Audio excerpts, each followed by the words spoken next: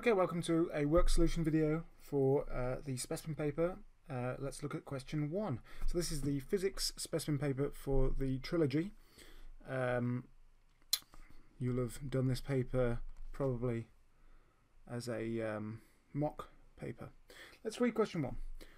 Figure 1 shows a cyclist with a trailer attached to his bike. Describe how Newton's third law applies to the forces between the bike and the trailer. Okay, so here is the trailer and here is the bike.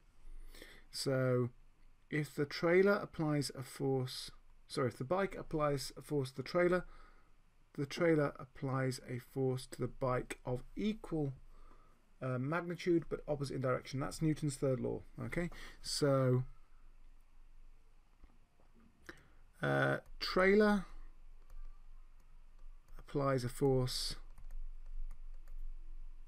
to the bike. I should really try and get my handwriting handwriting legible. Force to bike. Bike applies a force to trailer. Trailer. They are of equal size but opposite in direction. Opposite in direction. Okay. Question 2. A student investigated, sorry, question 1.2. A student investigated how the stopping distance of the bike was affected by the mass of the load. The same person ride the bike throughout the investigation. Give two other variables the student should have controlled. Okay, well, it's no good changing the load to see if it takes longer to stop or less to stop if you make the guy go really fast one time and slow the next. So they should definitely control the speed.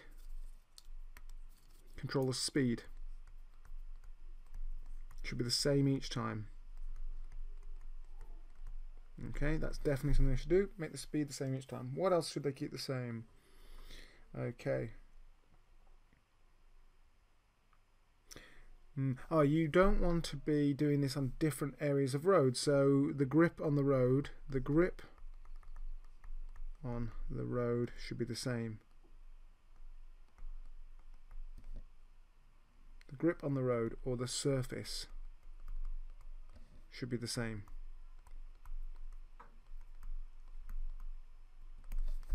So now you can see how the load affects the stopping distance, not um, how the surface affects the stopping distance or any of the other things we might be looking at. So this shows the results of the investigation. We've got stopping distance here, we've got mass of load here, and you can see that the stopping distance increases with the load. Draw a line on figure 2 to show how the stopping distance would be different if a heavier cyclist rode the bike. Mm, right, that's quite an interesting one. Let's imagine that the heavier cyclist was 10 kilograms heavier. Notice how the graph doesn't go down to zero. Right, this graph does not go down to zero. Right, when the load was zero, the bike and the cyclist still had mass, and they were still taking some distance to stop. So the stopping distance for the thing with no load, but still the mass of the cyclist and, and all the rest of it, was whatever this distance is. Looks like about um, 11.2 meters. Um, so draw a line how it would be different. It would be as though this line here was shifted back a bit.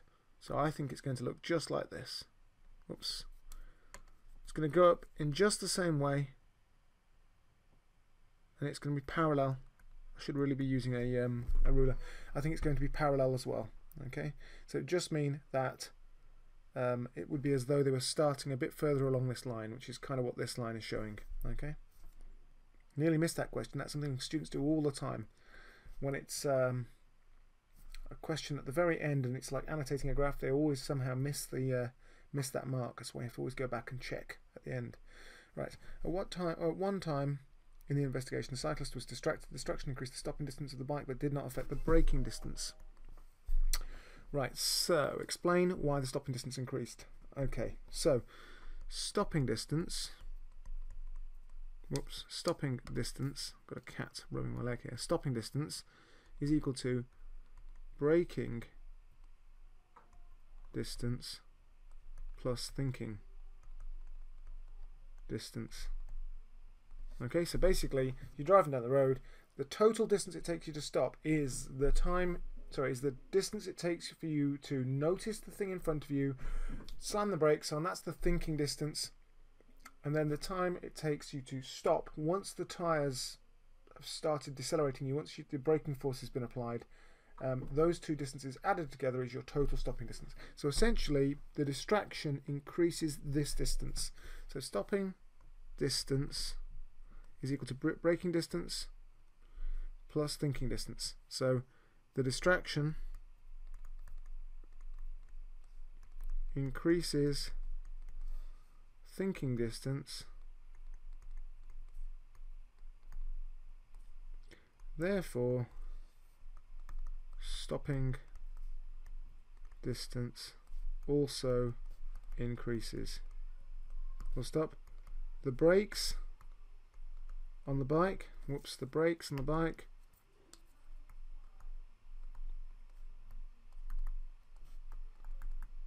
and tyres are not affected.